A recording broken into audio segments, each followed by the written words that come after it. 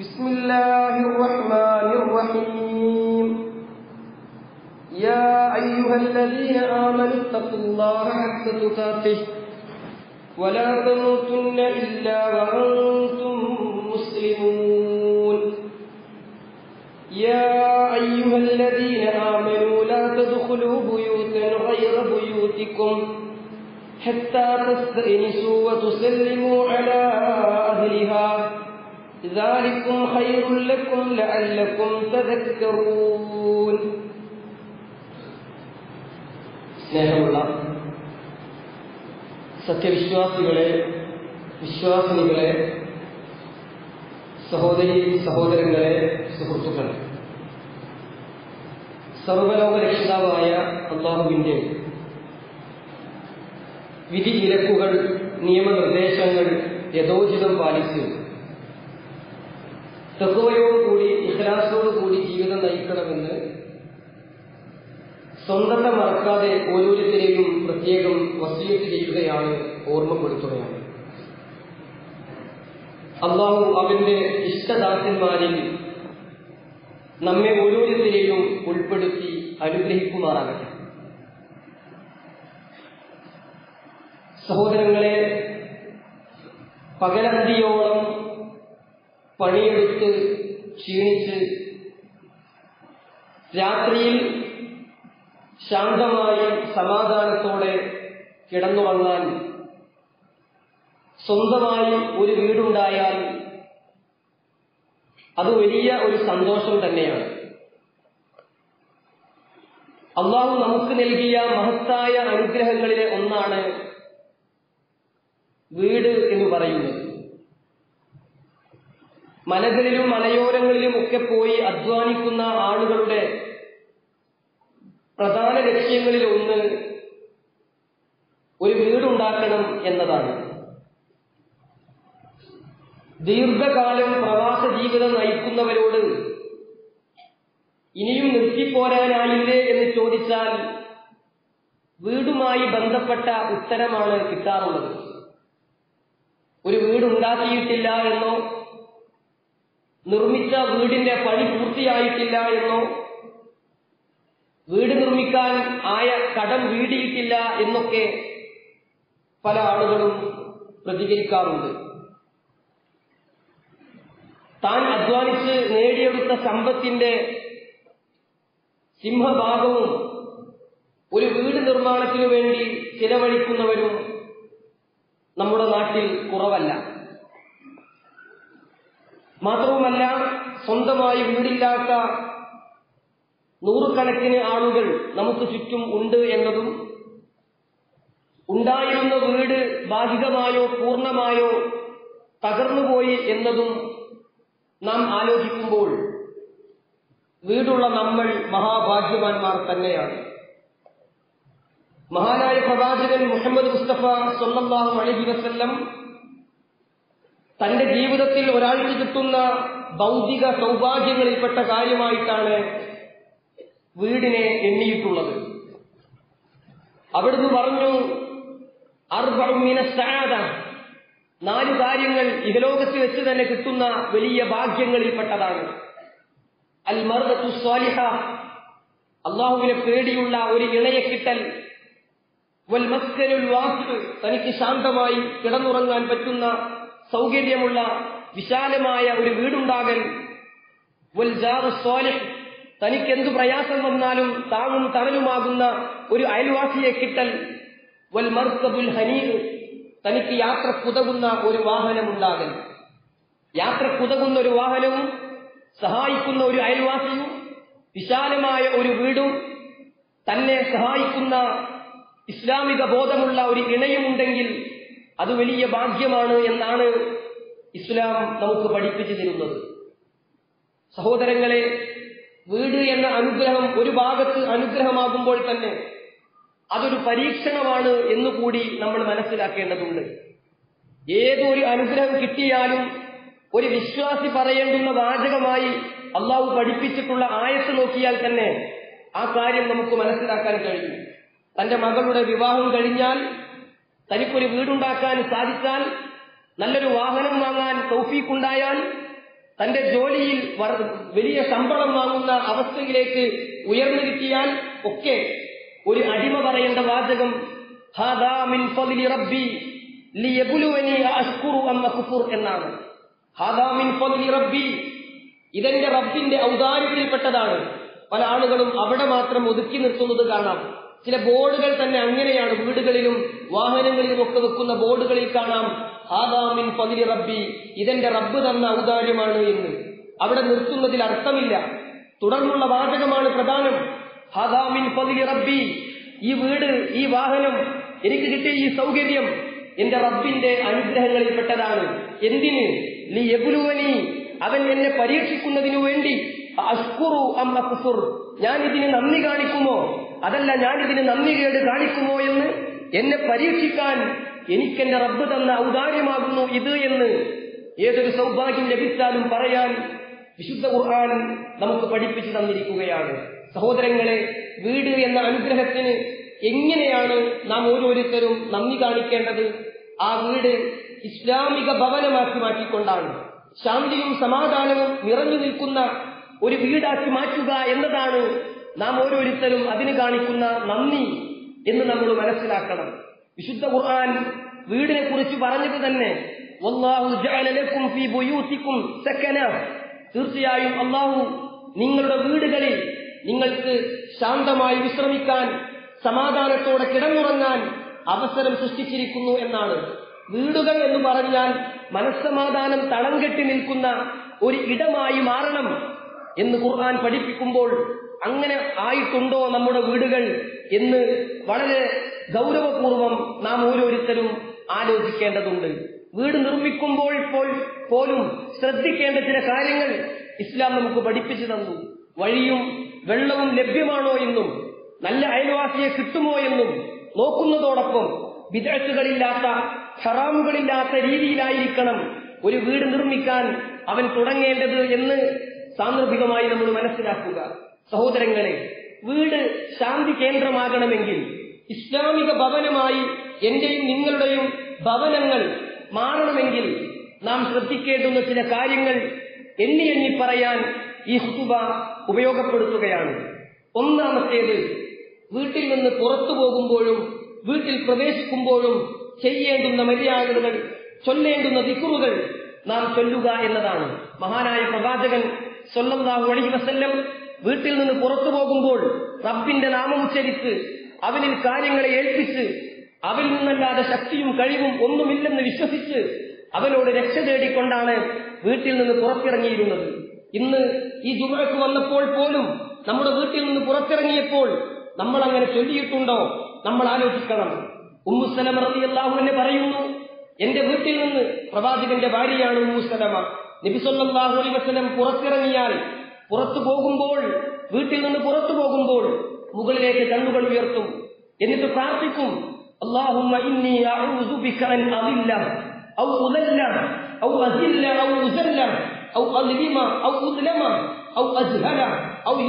അലയ്യ. ഈ പ്രത്യേകത തന്നെ ഉമ്മുസലമ റളിയല്ലാഹു അൻഹ പറയുന്നത് ഈ ദിക്ര ചൊല്ലാതെ ഒരിക്കൽ പോലും പ്രവാചകൻ സൊല്ലാഹു അലൈഹി വസല്ലം വീട്ടിൽ നിന്ന് പോയിട്ടില്ല എന്നാണ്. സഹോദരങ്ങളെ നമ്മൾ ആലോചിക്ക് ഈ ദിക്ർ ചൊല്ലിയിട്ട് നമ്മൾ വീട്ടിൽ നിന്ന് പുറത്തു പോയിട്ടുണ്ടോ? നമ്മൾ ആലോചിക്കേണ്ടതുണ്ട് ദിനേന എപ്പോൾ വീട്ടിൽ നിന്ന് പുറത്തു പോകുമ്പോഴും പ്രാർത്ഥിച്ചു അള്ളാഹുവേ ഞാൻ പിഴച്ചു പോകുന്നതിൽ നിന്നും എന്നെ പിഴപ്പിക്കുന്നതിൽ നിന്നും ഞാൻ നിന്നോട് രക്ഷ തേടുകയാണ് ഔ അസില്ല ഔ ഉസല്ല.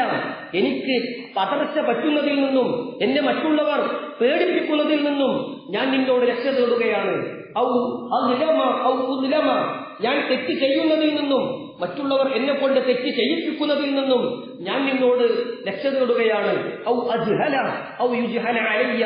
എനിക്ക് അവിവേകം സംഭവിക്കുന്നതിൽ നിന്നും മറ്റുള്ളവർ എന്നോട് അവിവേകമായി പെരുമാറുന്നതിൽ നിന്നും ഞാൻ നിന്നോട് രക്ഷ തേടുന്നു എന്ന് പറഞ്ഞുകൊണ്ടാണ് വീട്ടിൽ നിന്ന് നമ്മൾ പുറത്തിറങ്ങേണ്ടത്. നബി സല്ലല്ലാഹു അലൈഹി വസല്ലം പ്രാർത്ഥിക്കും ബിസ്മില്ലാഹ് തവക്കൽതു അലല്ലാഹ്. ലാ ഹൗല വലാ ഖുവത ഇല്ലാ ബില്ലാഹ് അല്ലാഹുവിന്റെ നാമത്തിൽ ഞാൻ അവനെ വരമേൽപ്പിക്കുന്നു. അവനെ കൊണ്ടല്ലാതെ യാതൊരു ശക്തിയും കഴിവും ഇല്ലേ ഇല്ല എന്ന് പ്രാർത്ഥിച്ചുകൊണ്ടാണ് നബി സല്ലല്ലാഹു അലൈഹി വസല്ലം വീട്ടിൽ നിന്ന് പുറത്തിറങ്ങിയിരുന്നത് വീട്ടിൽ പ്രവേശിക്കുമ്പോഴും അള്ളാഹുവിനെ ഓർത്തുകൊണ്ട് നമ്മൾ വീട്ടിൽ പ്രവേശിക്കണം. നബിസല്ലാഹു അലൈ വസ്ലമ പറഞ്ഞു ഏതെങ്കിലും ഒരാൾ തന്റെ വീട്ടിൽ പ്രവേശിക്കുന്നത് റബ്ബിന്റെ നാമം ഉച്ചരിച്ചുകൊണ്ടാണെങ്കിൽ ബിസ്മില്ല എന്ന് പറഞ്ഞുകൊണ്ട് അള്ളാഹുവിനെ ഓർത്തുകൊണ്ടാണ് വീട്ടിൽ പ്രവേശിക്കുന്നതെങ്കിൽ പിശാജ് മറ്റു പിശാജുക്കളോട് പറയും ഇന്നിവിടെ കിടന്നുറങ്ങാൻ നിങ്ങൾക്ക് ഇടമില്ല സ്ഥലമില്ല എന്ന്. അവൻ ഭക്ഷണം കഴിക്കുമ്പോൾ കൂടി വിസ്മി ചൊല്ലിയാൽ പിശാജ് പറയുമത്രേ ഇന്ന് നിങ്ങൾക്കിവിടെ ഭക്ഷണവുമില്ല. എന്നാൽ ഒരാൾ വീട്ടിലേക്ക് ഒന്നും പറയാതെ കയറി ചെന്നാൽ പിശാജ് പറയും ഇതാ നിങ്ങൾക്കിവിടെ കൂടാൻ ഇടമുണ്ട്. നിങ്ങൾക്കിവിടെ രാജ് പാർക്കാൻ സ്ഥലമുണ്ട് എന്ന് പിശാജ് പറയുമെന്നാണ്. ഭക്ഷണം കഴിക്കുമ്പോൾ കൂടി വിസ്മി ചൊല്ലാൻ മറന്നാൽ പിശാജ് പറയുന്നു നിങ്ങൾക്കിവിടെ ഭക്ഷണവും റെഡിയാണ് എന്ന്. ഗൗരവത്തോടുകൂടി നമ്മൾ ആലോചിക്കുക. നമ്മുടെ വീട്ടിൽ പിശാജിന് സൗകര്യമൊരുക്കാറുണ്ടോ നമ്മൾ? ഭക്ഷണം വിളമ്പാറുണ്ടോ നമ്മൾ? നമ്മൾ വളരെ കൃത്യമായി ആലോചിക്കേണ്ടതുണ്ട്. അപ്പോൾ വീടിന്റെ ഇസ്ലാമീകരണം ആഗ്രഹിക്കുന്ന ഏതെങ്കിലും ഒരാളുണ്ടെങ്കിൽ അവർ പാലിക്കേണ്ടുന്ന ഒന്നാമത്തെ കാര്യം വീട്ടിൽ നിന്ന് പോകുമ്പോഴും വീട്ടിൽ പ്രവേശിക്കുമ്പോഴും റബ്ബിനെ ഓർത്തുകൊണ്ട് ചൊല്ലേണ്ട ദിക്കറുകൾ ചൊല്ലിക്കൊണ്ട് പ്രവേശിക്കുകയും വീട്ടിൽ നിന്ന് ഇറങ്ങുകയും ചെയ്യുക എന്നതാണ്. രണ്ടാമതായി വീട് ഇസ്ലാമിക ഭവനമായി തീരണമെങ്കിൽ വീട്ടിലേക്ക് കയറി ചെല്ലുമ്പോൾ സലാം പറയുക എന്നതാണ്. സ്വന്തം വീട്ടിലേക്കാണെങ്കിലും സലാം പറഞ്ഞുകൊണ്ട് പ്രവേശിക്കണമെന്നാണ് റസൂൽ കരീം സ്വന്തം വസല്ലം നമുക്ക് പഠിപ്പിച്ചു തന്നിട്ടുള്ളത്. അന്യ വീടുകളിൽ സലാം പറഞ്ഞ് സലാം അടക്കുന്നില്ലെങ്കിൽ പ്രവേശിക്കരുത് എന്ന് കൂടി പ്രത്യേകം പഠിപ്പിച്ചു തന്നു. ഖുർആൻ പറഞ്ഞില്ലേ യാ അയ്യുഹല്ലദീന ആമനു ലാ തദ്ഖുലൂ ബുയൂതകും ലാ ബുയൂതൻ ഗൈറ ബുയൂതികും നിങ്ങൾ നിങ്ങളുടേതല്ലാത്ത വീടുകളിൽ പ്രവേശിക്കരുത്. ഹത്താ തസ്തഇനിസു വതുസല്ലിമു അലാ അഹ്ലിഹാ. നിങ്ങൾ അനുവാദം തേടുകയും വീട്ടുകാർക്ക് സലാം പറയുകയും ചെയ്യുന്നത് വരെ നിങ്ങൾ പ്രവേശിക്കരുത് എന്ന് ഖുർആൻ പറഞ്ഞു. സ്വന്തം വീട്ടിലേക്കാണെങ്കിലും സലാം പറഞ്ഞുകൊണ്ട് കയറണം. സഹോദരങ്ങളെ പല ആളുകളും കൂട്ടുകാരോട് കുടുംബക്കാരോട് കടയിലുള്ളവരോട് റോട്ടിൽ നിന്ന് കാണുന്നവരോട് ഒക്കെ സലാം പറയും. സ്വന്തം വീട്ടിലേക്ക് ഒന്നും പറയാതെ ഇങ്ങനെ കയറിപ്പോകും. ഭാര്യയോട് സലാം പറയുന്നില്ല. ഭർത്താവിനോട് സലാം പറയുന്നില്ല. മക്കൾ കയറി വരുമ്പോ ഉപ്പാനോട് സലാം പറയുന്നില്ല. എന്നാൽ മഹാനായ പ്രവാചകൻ സ്വല്ലല്ലാഹു അലൈഹി വസല്ലം അനസ് റളിയല്ലാഹുവിനെ വിളിച്ച് തോളിൽ കൈവച്ച് സ്നേഹത്തോടെ പറയുന്നു യാ ബുനയ്യ പൊന്നു മോനെ ഇതാ ദഖൽത അല നീ നിന്റെ കുടുംബത്തിലേക്ക് നീ നിന്റെ വീട്ടിലേക്ക് പ്രവേശിക്കുകയാണെങ്കിൽ അലൈഹിം. നീ അവരോട് സലാം പറഞ്ഞുകൊണ്ട് പ്രവേശിക്കണം.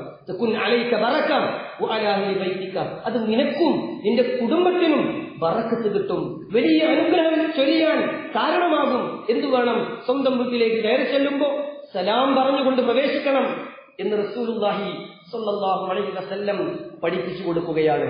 നമ്മുടെ വീട് ഇസ്ലാമിക ഭവനമായി തീരാനുള്ള മൂന്നാമത്തെ കാര്യം വീട്ടിൽ പ്രവേശിച്ചാൽ ആദ്യമായി ചെയ്യേണ്ടുന്ന ഒരു സുന്നത്ത് നാം പ്രാവർത്തികമാക്കണം എന്നതാണ്. ആയിഷ റളിയല്ലാഹു അൻഹയോട് സ്വഹാബികൾ ചോദിച്ചു നബി സല്ലല്ലാഹു അലൈഹി വസല്ലം വീട്ടിൽ പ്രവേശിച്ചാൽ ആദ്യമായി ചെയ്തിരുന്നത് എന്താ സ്വഹാബി ചോദിച്ചപ്പോ ആയിഷ അള്ളാഹു എന്നെ പഠിപ്പിച്ചു കൊടുക്കുകയാണ്.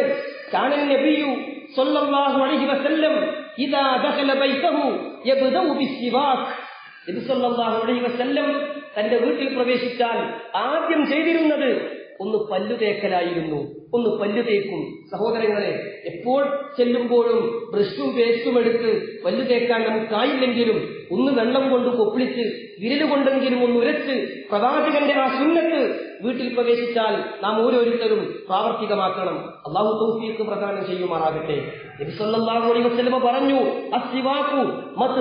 ലിൽ ഫമി ലിറബ്ബ് പല്ല് എന്നത് റബ്ബിന് തൃപ്തിയും പല്ലിന് വൃത്തിയുമാണ്. പല്ലിന് വൃത്തിയും കിട്ടും. റബ്ബിന്റെ തൃപ്തിയും കിട്ടും. അതുകൊണ്ട് വീട്ടിൽ ചെന്നാൽ ഒന്നാമതായി നമുക്ക് ചെയ്യാനുള്ള സുന്നത്ത് പല്ല് തേക്കുക എന്നതാണ്. നമ്മുടെ വീട് ഇസ്ലാമിക ഭവനമായി തീരാനുള്ള നാലാമത്തെ കാര്യം ദിക്കുറുകളും ദുആറുകളും നിറഞ്ഞു നിൽക്കുന്ന ഒരു വീടാക്കി നമ്മുടെ വീടിനെ മാറ്റുക എന്നതാണ്. പറഞ്ഞു മസലുൽ മസലുൽ ബൈത്തിൽ ലദി യുദ്കറുല്ലാഹു ഫീഹി വൽ അല്ലാഹുവിനെ ഓർക്കുന്ന വീടും ഓർക്കാത്ത വീടും ദിക്റുകൾ ചൊല്ലുന്ന വീടും ചൊല്ലാത്ത വീടും മരിച്ചവന്റെയും ജീവിച്ചവന്റെയും പോലെയാണ് ജീവനുള്ളവന്റെയും മയ്യത്തിന്റെയും പോലെയാണ് എന്ന് നബിസല്ലാഹു അലൈഹി വസല്ലം നമുക്ക് പഠിപ്പിച്ചു തന്നിട്ടുണ്ട്. അതുകൊണ്ട് ദിക്റുകൾ നിറഞ്ഞ വീടാക്കി മാറ്റുക അതാണ് നാലാമതായി നമ്മൾ ശ്രദ്ധിക്കേണ്ടത്. അഞ്ചാമത്തേത് വിശദമായി ചർച്ച ചെയ്യാൻ സമയമില്ലെങ്കിലും ചുരുക്കി ഓർമ്മപ്പെടുത്തട്ടെ. അഞ്ചാമത്തേത് ഖുർആൻ പാരായണമാണ്. വീടുകളിൽ ഖുർആൻ പാരായണം ദിനേന നടന്നുകൊണ്ടിരിക്കണം. നബിസല്ലാഹു അലൈഹി പറഞ്ഞു നിങ്ങൾ നിങ്ങളുടെ വീടുകളെ കബറിടം പോലെയാക്കരുത്. എന്തേ അങ്ങനെ പറയാൻ കാരണം? ഇന്റെ സൂറത്തുൽ ബക്കറ സൂറത്തുൽ ബക്കറ ഓതുന്ന വീട്ടിൽ നിന്ന് പിശാജ് ഓടിപ്പോകും. വീടുകളിൽ ഖുർആൻ പാരായണം ഉണ്ടാകണം. കബറിടം പോലെ ഖുർആൻ ഓതാത്ത സ്ഥലമാക്കി വീടുകളെ മാറ്റരുതേ എന്ന് നബി സല്ലല്ലാഹു അലൈഹി വസല്ലം പ്രത്യേകം പഠിപ്പിച്ചു തരികയാണ്. സഹോദരങ്ങളെ നമ്മുടെ വീട് അള്ളാഹു ഇഷ്ടപ്പെടുന്ന ശാന്തിയും സമാധാനവും നിലനിൽക്കുന്ന ഇസ്ലാമിക ഭവനമായി മാറണമെങ്കിൽ ആറാമതായി നമുക്ക് പാലിക്കാനുള്ള ഒരു മര്യാദയാണ് ഒരുമിച്ച് ഒരു വീട്ടിലുള്ളവർ ഒരുമിച്ച് ഭക്ഷണം കഴിക്കുക എന്നത്. കഴിയുമെങ്കിൽ ഒരു പാത്രത്തിൽ നിന്ന് തന്നെ ഉപ്പയും ഉമ്മയും മക്കളും ഒരു പാത്രത്തിന് ചുറ്റുമിരുന്ന് തിന്നുന്നുവെങ്കിൽ അത് വലിയ വറക്കത്താണ് നബിസ്വല്ലാഹു അലഹി വസല്ലമ്മയോട് വന്ന് ചില സ്വഭാവികൾ പരാതി പറഞ്ഞു ഞങ്ങൾ ഭക്ഷണം കഴിക്കാറുണ്ട്. പക്ഷേ വിശപ്പ് മാറിയതുപോലെ തോന്നില്ല. ഒരു റാഹത്ത് കിട്ടണില്ല. ഭക്ഷണമൊക്കെ സുഭിക്ഷമാണ്. എന്നാലും ഒരു സംതൃപ്തി കിട്ടുന്നില്ല. ചോദിച്ചു അൻതും അല്ല നിങ്ങൾ നിങ്ങൾ വെവ്വേറെ ഇരുന്നാണോ? വേറെ വേറെ ഇരുന്നാണോ ഭക്ഷണം കഴിക്കാറുള്ളത്? അവർ പറഞ്ഞു അതേ പ്രവാചകരെ നബി സല്ലല്ലാഹു അലൈഹി വസല്ലം പറഞ്ഞു നിങ്ങൾ ഭക്ഷണത്തിനു വേണ്ടി ഒന്ന് ഒരുമിച്ചിരിക്കൂ. വദുഖുറുസ്മല്ലാ റബ്ബിനെ നാമം ഓർത്തുകൊണ്ട് ആരംഭിക്കുകയും ചെയ്യും യുബാരിക് ലക്കും. എങ്കിൽ നിങ്ങൾക്ക് ബറക്കത്ത് കിട്ടും. അൽ ബറക്കത്തു മഅൽ ജമാഅ. ഒന്നിച്ചിരിക്കുന്നവരോടൊപ്പമാണ് ബറക്കത്തുള്ളത് എന്ന് നബി സല്ലല്ലാഹു അലൈഹി വസല്ലം പഠിപ്പിക്കുകയാണ് ഇനി ഒരു പാത്രത്തിൽ നിന്ന് തിന്നാൻ കഴിഞ്ഞില്ലെങ്കിലും ഒരുമിച്ചിരുന്നെങ്കിലും ഭക്ഷണം കഴിക്കാൻ ഒരു കുടുംബത്തിലെ ആളുകൾക്ക് സാധിക്കണം. എല്ലാ ദിവസവും എല്ലാ നേരത്തെ ഭക്ഷണവും അങ്ങനെ സാധിച്ചില്ലെങ്കിലും എപ്പോഴെങ്കിലുമൊക്കെ ബോധപൂർവം ഒരു പാത്രത്തിൽ നിന്ന് അല്ലെങ്കിൽ ഒരുമിച്ചിരുന്നുകൊണ്ട് ഭക്ഷണം കഴിക്കാൻ നാം സമയം കണ്ടെത്തുന്നുവെങ്കിൽ അത് ഇസ്ലാമിക ഭവനമാക്കാനുള്ള ആറാമത്തെ ഒരു കാര്യമായി നമ്മൾ മനസ്സിലാക്കേണ്ടതുണ്ട്. നമ്മുടെ വീടുകൾ ഇസ്ലാമിക ഭവനമായി തീരാൻ ആഗ്രഹിക്കുന്നുവെങ്കിൽ അവർക്കുള്ള ഏഴാമത്തെ മര്യാദ സുന്നത്ത് നമസ്കാരങ്ങൾ വീട്ടിൽ കാര്യമായി നടക്കണം എന്നതാണ്. നബി സല്ലല്ലാഹു അലൈഹി വസല്ലമ പറഞ്ഞു സല്ലു അയ്യുഹന്നാസ് ഫീ ഓ ജനങ്ങളെ നിങ്ങൾ വീടുകളിൽ വെച്ച് നിങ്ങൾ നമസ്കരിക്കണം.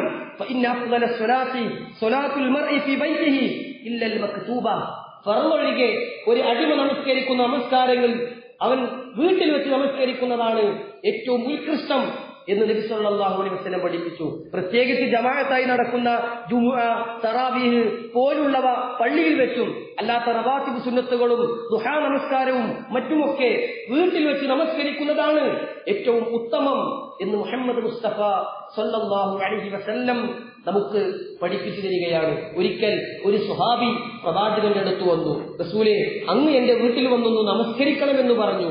പ്രവാചകൻ സമ്മതിച്ചു.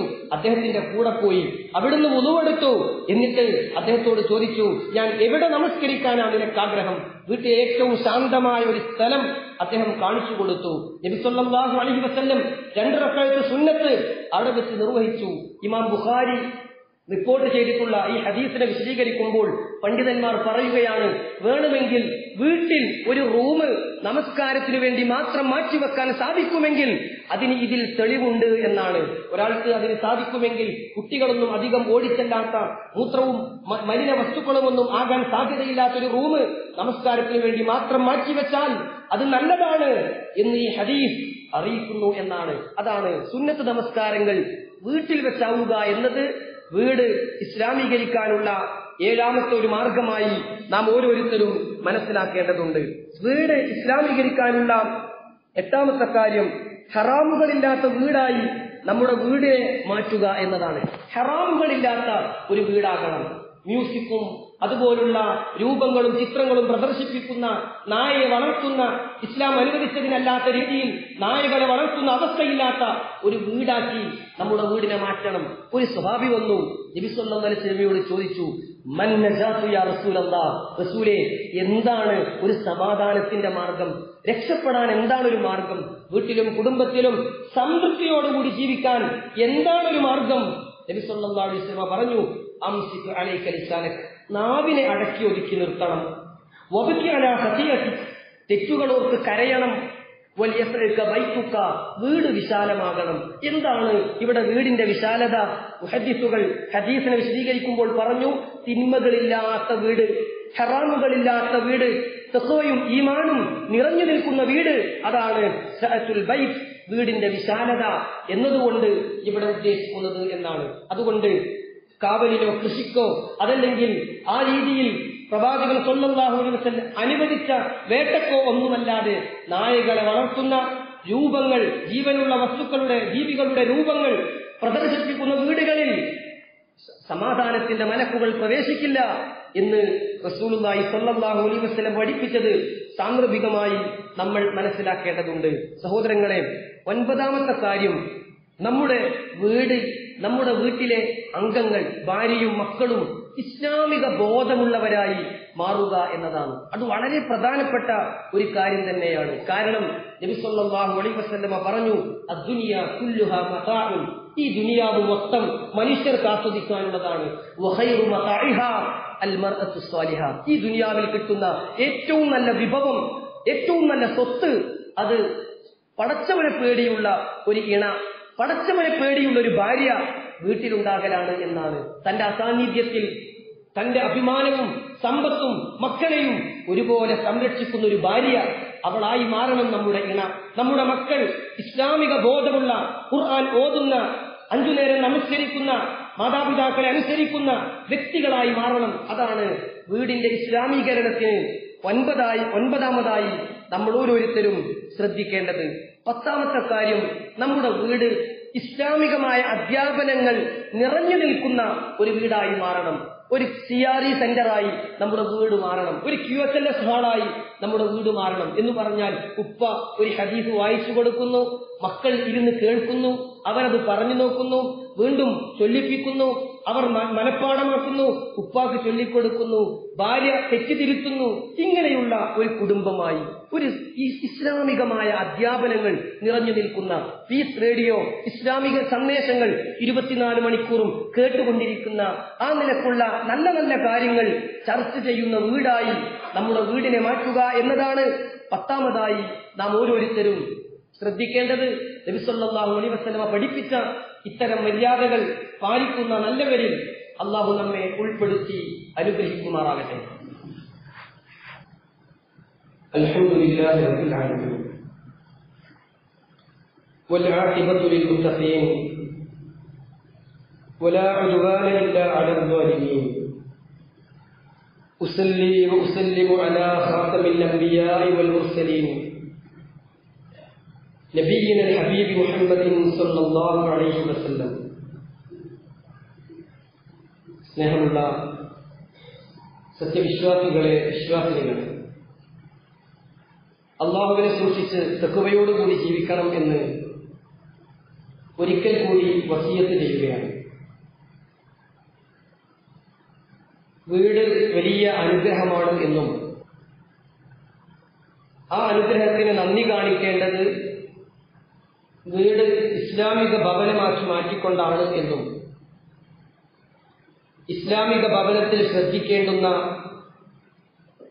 വളരെ സുപ്രധാനമായ പത്തു കാര്യങ്ങളുമാണ് കൊത്തുബയിൽ നാം മനസ്സിലാക്കിയത്. ഒന്നാമത്തേത് വീട്ടിൽ പ്രവേശിക്കുമ്പോഴും ഇറങ്ങുമ്പോഴുമുള്ള ദിക്റുകൾ ചൊല്ലുക എന്നതും രണ്ടാമത്തേത് വീട്ടിൽ പ്രവേശിക്കുമ്പോൾ സലാം പറഞ്ഞുകൊണ്ട് പ്രവേശിക്കുക എന്നതും മൂന്നാമത്തേത് വീട്ടിൽ പ്രവേശിച്ച ഉടനെ പല്ല് തേക്കുക എന്നതും നാലാമത്തേത് ദിക്റുകളും ദുആവുകളും വീട്ടിൽ ചൊല്ലുക എന്നതും അഞ്ചാമത്തേത് ഖുർആൻ പാരായണം നിർവഹിക്കുക എന്നതും ആറാമത്തേത് ഒരുമിച്ച് ഭക്ഷണം കഴിക്കുക എന്നതും ഏഴാമത്തേത് സുന്നത്ത് നമസ്കരിക്കുക എന്നതും എട്ടാമത്തേത് ഹറാമുകളില്ലാത്ത വീടാക്കി വീടിനെ മാറ്റുക എന്നതും ഒൻപതാമത്തേത് വീട്ടിലെ ഇണയും മറ്റു അംഗങ്ങളും ഇസ്ലാമിക ബോധമുള്ളവരായി മാറുക എന്നതും പത്താമത്തേത് ഇസ്ലാമിന്റെ അധ്യാപനങ്ങൾ ചർച്ച ചെയ്യുന്ന മതം പഠിപ്പിക്കുന്ന ഒരു കേന്ദ്രമാക്കി വീടിനെ മാറ്റുക എന്നതുമാണ് എന്ന് നാം മനസ്സിലാക്കുകയുണ്ടായി. മഹാനായ പ്രവാചകൻ സൊല്ലാഹു അലൈ വസ്ലമ പറഞ്ഞ അധ്യാപനങ്ങളോട് പലപ്പോഴും നമ്മുടെ മനസ്സിന് ഉൾക്കൊള്ളാൻ കഴിയാത്തതിന്റെ പേരിൽ അവഗണിക്കുന്ന ചില കാര്യങ്ങൾ നമുക്ക് കാണാൻ കഴിയും. നല്ല മഞ്ഞുള്ള ദിവസം കുട്ടികൾ പുറത്തിറങ്ങുമ്പോൾ ഒരു തൊപ്പിയിട്ടിറങ്ങണം എന്ന് നമ്മൾ പറയും. അല്ലെങ്കിൽ മഞ്ഞത്തുനിന്ന് കയറിപ്പോരൂ എന്ന് നമ്മൾ ആവശ്യപ്പെടും. കാരണം അതൊരു അപകടമാകും അതൊരു രോഗം വരാൻ കാരണമാകും എന്ന് നമ്മൾ വിശ്വസിക്കുന്നുണ്ട്. നല്ല വെയിലുള്ള ദിവസം നട്ടുച്ചക്ക് കുട്ടി പുറത്തിറങ്ങി നടക്കുന്നത് കാണുമ്പോൾ അരുത് എന്ന് പറഞ്ഞ് അവന്റെ കൈപിടിച്ച് നമ്മൾ വീട്ടിൽ കയറ്റും. എന്നാൽ നബിസ്വല്ലാഹു അലൈവസ്ലമ പറഞ്ഞു നിങ്ങൾ വൈകുന്നേരമായി കഴിഞ്ഞാൽ മകരിവിന്റെ സമയമായി കഴിഞ്ഞാൽ കുഫു സിബിയാനക്കും നിങ്ങളുടെ ചെറിയ കുട്ടികളെ നിങ്ങൾ പിടിച്ചു വെക്കണം. അവരെ പുറത്തിറങ്ങി നടക്കാൻ നിങ്ങൾ അനുവദിക്കരുത്. പിശാചുക്കൾ വിലസുന്ന വ്യാപിക്കുന്ന സമയമാണത്. എന്ന് ലോകത്തിന്റെ പ്രവാചകൻ വഹീന്റെ അടിസ്ഥാനത്തിൽ അല്ല നിർദ്ദേശിച്ചത് പ്രകാരം നമുക്ക് പഠിപ്പിച്ചു തന്നിട്ടും നമുക്കൊരു പേടിയില്ല. നമ്മൾ പല ന്യായങ്ങളും കാരണങ്ങളും കണ്ട് അവനെ വിളിച്ചിട്ട് വരാത്തത് കൊണ്ടാണ് ഞാൻ അവനോട് പറഞ്ഞു നോക്കിയതാണ് എന്നൊക്കെ പറഞ്ഞു കുട്ടികൾ മകരിവിന്റെ സമയത്തും പുറത്തിറങ്ങി നടക്കുന്നു. പാടില്ല സഹോദരങ്ങളെ പ്രവാചകൻ പറയുന്നു കുഫു സുബിയാനക്കും. ആ സമയത്ത് നിങ്ങൾ കുട്ടികളെ ഒന്ന് പിടിച്ചു വെക്കണം. കുറച്ച് സമയം കഴിഞ്ഞിട്ട് അവർ വേണമെങ്കിൽ പുറത്തിറങ്ങിക്കോട്ടെ എന്ന് നബിസല്ലാഹു അലൈഹി വസല്ലം പറയുകയുണ്ടായി. മാത്രവുമല്ല അവിടുന്ന് ആ മകരിവിന്റെ സമയമായി കഴിഞ്ഞാൽ ബിസ്മി ചൊല്ലി വാതിലടക്കാൻ നമുക്ക് മാതൃക കാണിച്ചു തരികയാണ്. ഇങ്ങനെയുള്ള മര്യാദകൾ പാലിച്ചുകൊണ്ടുള്ള ഒരു ഭവനമായി ശാന്തിയും സമാധാനവും നിലനിൽക്കുന്ന ഒരു വീടായി നമ്മുടെ വീട് മാറണം. അങ്ങനെ വീട് ലഭിച്ചതിന് നന്ദിയുള്ളവരായി നാം ജീവിക്കണം. വീടില്ലാത്തവരെ സഹായിക്കാനുള്ള സംരംഭങ്ങളിൽ നാം ഭാഗവാക്കാകണം. അള്ളാഹു സുബാനുവ താര നന്മകൾ ചെയ്യാൻ നമുക്ക് തൗഫിയത്ത് പ്രദാനം ചെയ്യുമാറാകട്ടെ. അള്ളാഹുവെ ഞങ്ങളിൽ വന്നുപോയ ചെറുതും വലുതുമായ എല്ലാ പാപങ്ങളും പ്രായത്തിന്റെ പ്രസരിപ്പ് കൊണ്ടോ വിവേകത്തിന്റെ കുറവ് കൊണ്ടോ സന്ദർഭത്തിന്റെ സമ്മർദ്ദത്തിന് വഴങ്ങിയോ സാഹചര്യത്തിന് അടിമപ്പെട്ടോ ഞങ്ങൾ ചെയ്തു പോയതാണ്. പാപികളായ ഞങ്ങൾക്ക് അതെല്ലാം പുറത്ത് മാപ്പു തരണം റഹ്മാനെ. ഞങ്ങളോട് വിട പറഞ്ഞ മാതാപിതാക്കൾ ഗുരുനാഥന്മാർ സഹോദരി സഹോദരങ്ങൾ പൊന്നോമന മക്കൾ അവർക്ക് നീ മഹസുറത്തും മറഹമത്തും നൽകി ആദരിക്കണം റഹ്മാനെ. അവരെയും ഞങ്ങളെയും നിന്റെ ജന്നാത്തിൽ ഫിർദൌസിൽ ഒരുമിച്ച് കൂട്ടണം. യാ അള്ളാഹ് അള്ളാഹുവെ രോഗം കൊണ്ട് പ്രയാസപ്പെടുന്നവർക്ക് ശിഫ നൽകണം റഹ്മാനെ. കടം കൊണ്ടും മറ്റും ബുദ്ധിമുട്ടുന്നവർക്ക് അതിൽ നിന്ന് മോചനം നൽകണം. യാ അള്ളാഹ് സ്വന്തമായി കിടന്നുറങ്ങാൻ ഒരു വീടില്ലാത്തവർക്ക് അവരുടെ സ്വപ്നം നീ സാക്ഷാത്കരിച്ചു കൊടുക്കണം. യാ അള്ളാഹ് വീടുകൾ ഇസ്ലാമീകരിക്കാനുള്ള തൗഫിയത്ത് നീ ഞങ്ങൾക്ക് ഓരോരുത്തർക്കും പ്രദാനം ചെയ്യണം റഹ്മാനെ. മക്കളെ കെട്ടിച്ചയക്കാൻ ബുദ്ധിമുട്ടുന്നവർക്ക് നല്ലവരെ ഏൽപ്പിക്കാൻ നീ തൗഫീക്ക് നൽകണം യാ അള്ളാ മക്കളില്ലാതെ ബുദ്ധിമുട്ടുന്നവർക്ക് സ്വാലിഹ്യങ്ങളായ സന്താനങ്ങളെ നീ പ്രദാനം ചെയ്യണം റഹ്മാനെ മക്കളിലൂടെ പ്രയാസപ്പെടുന്നവർക്ക് അതിൽ നിന്ന് മോചനം നൽകണം യാ അള്ളാ ഖബർ ശിക്ഷയിൽ നിന്നും നരക ശിക്ഷയിൽ നിന്നും നീ ഞങ്ങളെ കാത്തു രക്ഷിക്കണം റഹ്മാനെ اللهم اغفر للمؤمنين والمؤمنات والمسلمين والمسلمات الأحياء منهم والأموات إنك مجيب الدعوات يا قاضي الحاجات. اللهم أجرنا من النار. اللهم أعز الإسلام والمسلمين وأذل الشرك والمشركين. ربنا تقبل منا صيامنا وقيامنا وركوعنا وسجودنا واعتدالنا ودعاءنا. إنك أنت السميع العليم. واتب علينا إنك أنت التواب الرحيم. أقول قولي هذا وأستغفر الله لي ولكم فاستغفروه. إنه هو الغفور الرحيم. وصلى الله على نبينا محمد وعلى آله وصحبه أجمعين والحمد لله رب العالمين.